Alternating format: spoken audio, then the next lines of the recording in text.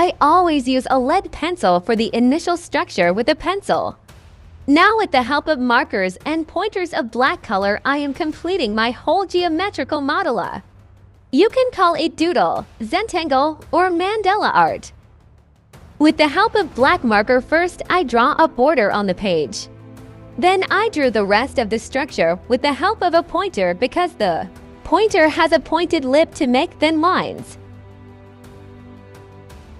In this type of art, I am using a for-size paper first I left an equal area on the top and bottom of the page because the top and bottom have the same design in Mandala art which I am drawing.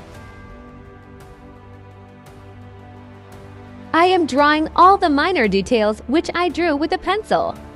This is the geometric mandala.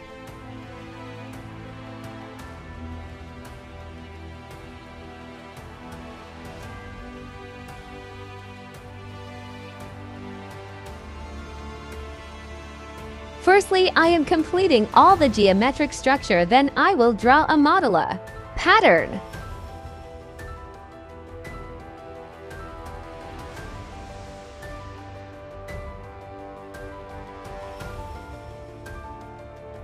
This is the time-lapse video. I hope you are enjoying the video.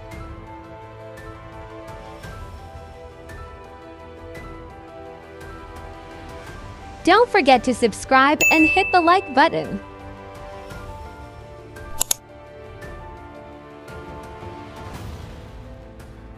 Erase all the pencil marks. Let's draw mandala pattern now. Enjoy the video.